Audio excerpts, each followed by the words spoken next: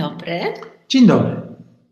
Witamy wszystkie dzieci, które chciały dzisiaj pokodować troszkę z nami, zrobić jakieś zadania, które ćwiczą umysł, spostrzegawczość, pamięć. Pobawimy się wspólnie. Dzisiaj spotykamy się z Wami pierwszy raz, ale mamy nadzieję, że po dzisiejszym spotkaniu będziecie chcieli jeszcze do nas wrócić i pobawić się z nami kolejnymi. Ania Zabawami. przygotowała dla Was zadania. Zobaczcie. Zadanie pierwsze.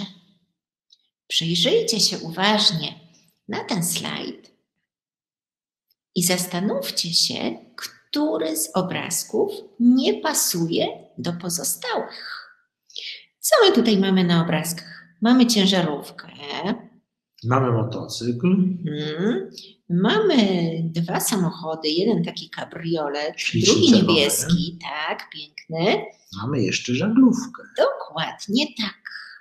Który z obrazków może nie pasować do pozostałych? I, I dlaczego? Wiecie już? A myślę, że już znacie odpowiedź. Popatrzmy, to jest żaglówka. Czy wy wybraliście też żaglówkę? Świetnie, bardzo nas to cieszy. Rafał, dlaczego akurat żaglówka nie pasowała do pozostałych Zobacz. obrazków? Wszystkie środki transportu, czyli i kabriolet, i motor, i niebieski samochodzik, to są pojazdy, które jeżdżą po drogach, a żaglowiec pływa po wodzie. Stąd żaglowiec nie pasował do tamtych obrazków. Dokładnie tak. Rozróżniliście tutaj transport morski od lądowego. Pięknie, więc przechodzimy do kolejnego zadania. Będzie zbliżone do poprzedniego. Wow, zobaczcie. Na tym obrazku musimy wskazać ten, który nie pasuje do pozostałych, czyli mamy chleb, Mhm. Mamy bułeczki, rogalik francuski też jest. tost, Mhm. masło, Hmm, a to po środku to to bajgiel. jakiś bajgiel czy Mhm. donut? No, w każdym No razie tak jakiś- jak sobie patrzę, to jak dla mnie to wszystko tutaj pasuje, wszystko się kojarzy ze śniadaniem. Ale może wpadniecie na jakieś inne rozwiązanie. Nie, nie pasuje? Słuchajcie, zobaczcie. Wszystko jest do jedzenia, tak? Mhm. Ale pytanie, czy Co coś tutaj- może jest z mąki, a coś jest z tłuszczu? Świetnie. Czy wy też wybraliście masło? Jeśli tak, to świetnie. Masło to nabiał, a pozostałe obrazki przedstawiały pieczywo. No to co? Przechodzimy do kolejnego zadania. Teraz będzie odrobinę trudniej. Zobaczcie. Spójrzcie na obrazek i postarajcie się go zapamiętać. Mhm. Dokładnie. Gdzie są czerwone kwadraciki? pomarańczowe, czerwone. Gdzie pomarańczowe? Żółte, pomarańczowe. Mhm. Hmm. W jakim kolorze jest najwięcej kafelków? Ale poczekaj, poczekaj. Najpierw zasłaniamy, zasłaniamy ekran. Już zasłonięty? Tylko uczciwie Dobrze. nikt nie podgląda. Tak, nie, nie podglądać? Nie podglądamy. Jak ekran jest zasłonięty, to powiedzcie proszę, w którym kolorze było najwięcej kafelków? Oraz powiedzcie, ile kafelków było w kolorze żółtym. Sprawdzamy. Ile mieliśmy pomarańczowych, Rafał, kafelków? Były trzy pomarańczowe kafelki A czerwonych? i trzy czerwone kafelki A żółtych? i trzy żółte kafelki. To których jest najwięcej?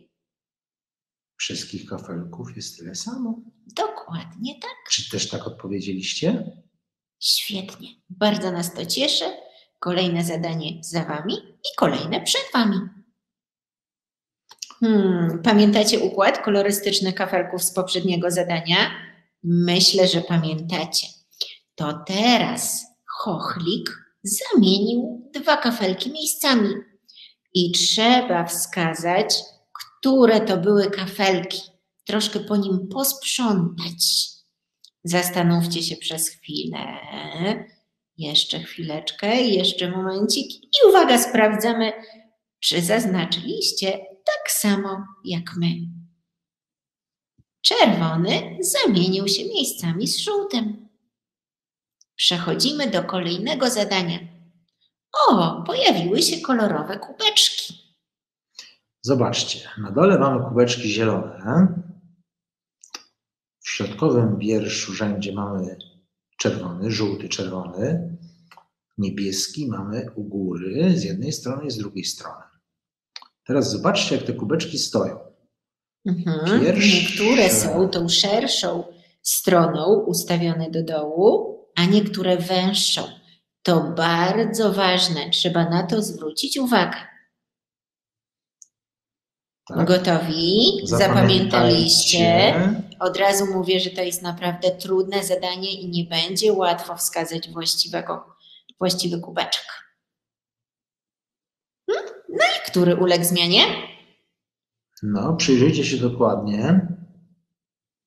Hmm? Czy zapamiętaliście, który kubeczek? Tak. Któryś z tej inaczej? planszy stoi inaczej albo zmienił kolor? Tego nie podpowiemy. Jeden, jedyny kubeczek się zamienił. Myślę, że już znacie odpowiedź, więc sprawdźmy ją. Tak, dobrze pokazaliście. Ten zielony kubeczek stoi odwrotnie. Dokładnie tak. Czy już jesteście gotowi na następne zadanie? Następne zadanie wymaga odrobinę przygotowania. Będzie nam potrzebna kartka podzielona na, y, na pola. Możecie sobie wybrać pokratkowaną kartkę z zeszytu w kratkę i zaznaczyć kwadrat o wymiarach 10 na 10. W poziomie wpisać kolejne litery A, B, C, D, E, F, G, H, I oraz J. W pionie natomiast wpisujemy cyfry 1, 2, 3 i tak do 10. Potrzebujemy też kredki. W jakich kolorach będą, Rafał, potrzebne kredki? Będzie nam potrzebna kredka granatowa, żółta, zielona, czerwona, niebieska i czarna. Dokładnie tak. Czy już macie kredki? Mhm. Poczekamy chwileczkę, żeby każdy zdążył przynieść kredki, ale jeśli nie chcecie kolorować tego zadania, to możemy je też zrobić online. Jeśli macie dostęp do internetu, a skoro nas oglądacie, to macie, to możecie wejść na stronę EduSense. My teraz przełączymy się z prezentacji w tryb pokazania, udostępnienia naszego ekranu, więc będziecie widzieć, jak my kolorujemy y, też ten sam obrazek, co wy. To chwileczkę potrwa, więc nie uciekajcie nam proszę. Kto jeszcze, kto jeszcze y, nie ma kredek, to akurat ma chwileczkę, żeby, żeby po nie pójść. O, świetnie. Myślę, że już widzicie nasz ekran. I teraz tak, jeśli nie chcecie kolorować, tylko chcecie to zrobić na wirtualnej macie, to ja Wam teraz powiem, jak należy ją znaleźć. Wpisujemy w pasek edu-sense.com łamane na pl. Następnie klikamy zakładkę Akademia. Zobaczcie, ile tu różnych rzeczy jest. Mhm. My będziemy potrzebować aplikację, która nazywa się Wirtualna Mata do Kodowania. Mhm. Zobaczcie, tu też są wirtualne puzzle. Na nich spotkamy się w którymś z kolejnych zadań. Z którymś z naszych, na którymś z naszych kolejnych spotkań. I teraz to, co ważne, zobaczcie, powinna Wam się otworzyć taka kratownica. Tak jak mówiliśmy, ma zaznaczone tutaj litery i cyfry, a po lewej stronie na górze mamy zakładkę tło. Jeśli klikniemy sobie na tą zakładkę, to możemy tutaj wybierać różne kolory. Nie mamy tutaj koloru czarnego, a tak jak pewnie pamiętacie, Rafał wspominał, że będzie nam potrzebny kolor czarny, więc my go zastąpimy kolorem szarym. Też będzie pasował idealnie. Powiem Wam jeszcze szybciutko, w jaki sposób przenosimy kolory na matę.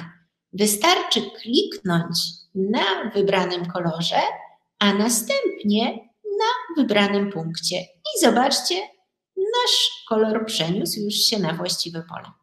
Dobrze, no to co, Rafał, podyktujesz To nam? teraz y, ci, którzy mają kredki i kartki, robią zadanie na kartce. Ci, którzy mają już otwartą wirtualną matę, mogą zrobić na wirtualnej macie. I Teraz Mhm. Ja będę robić razem z Wami. Zobaczymy, czy mi się uda. przeczytam Wam, które pola mamy zaznaczyć. Najpierw granatową kredką zaznaczamy pole A1. Czy już wszyscy mają zaznaczone A1? Dobrze, to teraz zaznaczamy B1. Dobrze, to teraz spróbujcie zobaczyć, gdzie jest literka C i jedynka, czyli pole C1. Tak, czyli szukamy przecięcia C i 1. O tutaj. Kolejną kratką do zaznaczenia będzie kratka A2. Później B2. Teraz troszeczkę w dół, bo będzie A9. O, to daleko. Trzeba przejechać troszkę niżej. Teraz będzie A10. B9 i B10. Kolejną będzie C10. Potem D10 i E10. Mam. Dobrze. To teraz słuchajcie, musimy poszukać żółtej kredki, tak, albo wybrać żółty kolor i zaznaczyć pole E1. Dobrze. Teraz pole E2. Dobrze. Macie już pomysł na to, co wyjdzie? Zobaczymy. Teraz zmieniamy kolor na czerwony i na czerwono malujemy kratkę o współrzędnych E8. Mamy? Dobrze.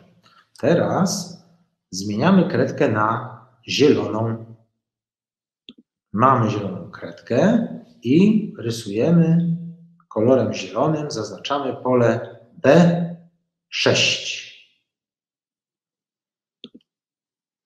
Później pole C6. Teraz zaznaczamy D6 i kolejno E6. Teraz na zielono zaznaczymy pole C7. Mamy, dobrze. Teraz D7. Teraz E7. Jeżeli mamy już E7 pomalowane na zielono, to teraz mamy C8 i D8. C9 na zielono, C9, tak? Teraz D9 i E9. Mamy? Mhm. Dobrze. Teraz zmieniamy kolor na jasno-niebieski. Wybieramy jasną niebieską kredkę lub jasno-niebieski kolor na wirtualnej macie i zaznaczamy pola o współrzędnych C4. A teraz D4 i C5.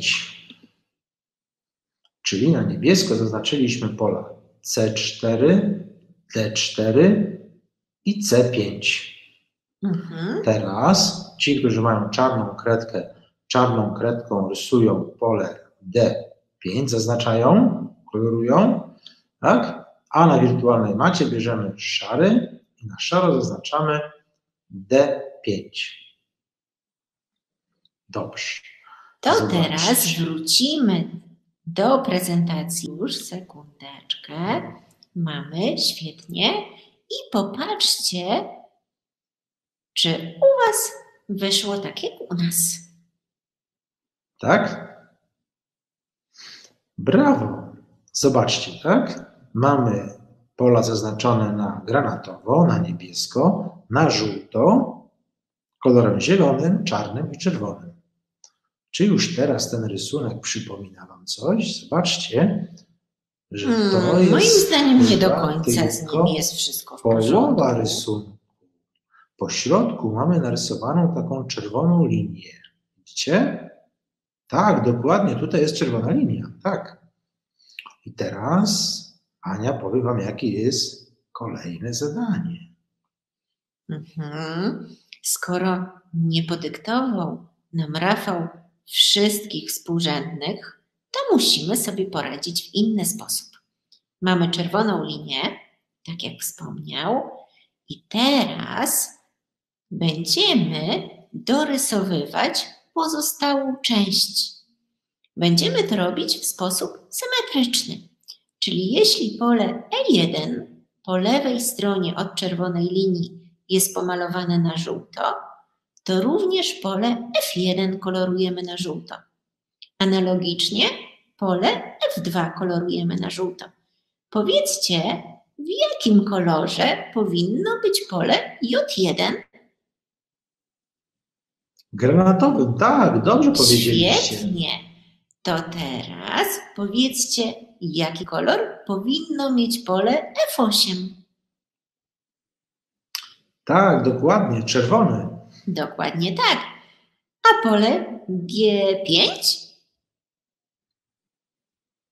Słyszę? G5? Czarne, dobrze. Dokładnie tak, chyba że ktoś pracuje na wirtualnej macie, to wtedy będzie jakie? Szare. Fantastycznie. I w ten sposób kolorujemy pozostałą część.